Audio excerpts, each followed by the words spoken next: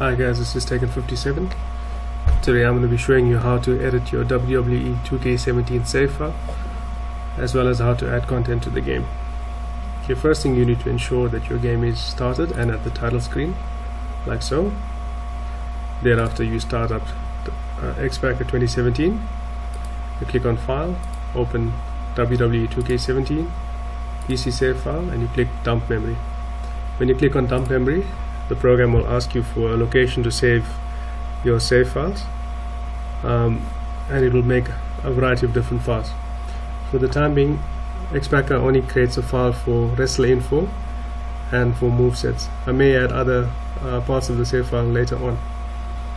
Okay once you have created uh, your dump files you click on file open WWE 2K17 PC save file wrestler info dump okay you select the dump file that was created by X-Packer and now you will see all of the slots that are listed uh, in the save file. Um, I'm going to extract slot 100 which is the rocks uh, wrestler info and I'm going to inject this into one of the empty slots. So I know that slot number 464 is empty so I'm going to inject the rocks um, wrestler info into this. Okay upon doing this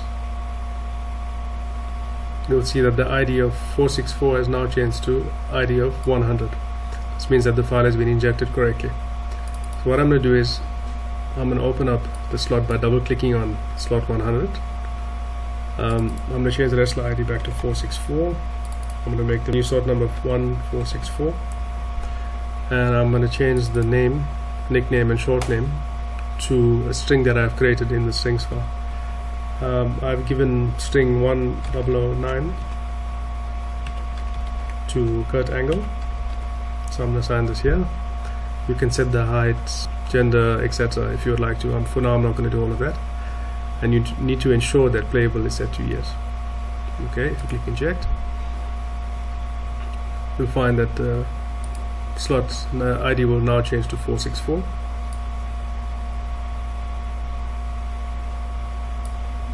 okay that is correct. If you are happy then you click save changes into memory. If once clicking save changes into memory um, the changes to the uh, wrestler info should be saved uh, to your game. So if you go into the game and we look under creations superstar WWE superstar we should see Kurt Angle listed. And okay there we go. So this means that your slot has now been created now we still need to add a move set for Kurt Angle. So I'm going to open the move set file.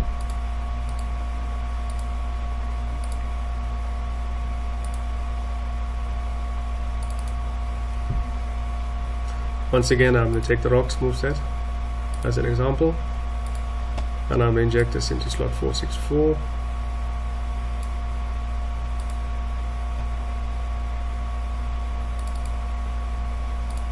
okay if you're happy click save changes into memory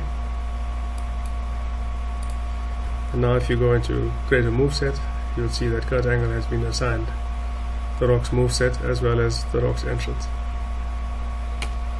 I'm going to go into create a move set just to show you that it's worked.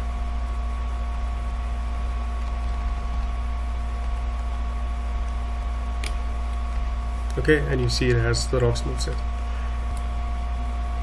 Right, if you're happy with the changes that you've made to the save, you need to now uh, do something in the game which will cause the game to save the file and make it permanent. So I'm going to go into edit superstars. I'm going to go into one of the wrestlers and change one of the attributes If you're happy hit space so now the changes that you've made to the game uh, are permanent so if you look we have Kurt Angle listed this means that now you can select Kurt Angle also note that for you to actually use Kurt Angle in the game I have used slot 464 you need to create a pack file um, with a pack edge file on the inside named correctly to the slot that you've assigned. So your pack file would be something like 000464002 and your pack file pack edge file will be named the same as well. Okay, it's important to note here that uh, X-Packer always works with the dump files. It does not work with your save file directly. Uh, if you try to open the save file, you will get an error in X-Packer. Uh, also note that you can make changes to um, the entrance motions as well as the uh, entrance videos etc assigned to a slot. You can do this by double clicking a slot. Okay, this does not work for the advanced entrance that are created within the game. Uh, these you will need to edit within the game itself. Alright, uh, that's it for, for this tutorial. If you have any questions, please post in the comment section below or on my threads in Smack Talks. Thank you.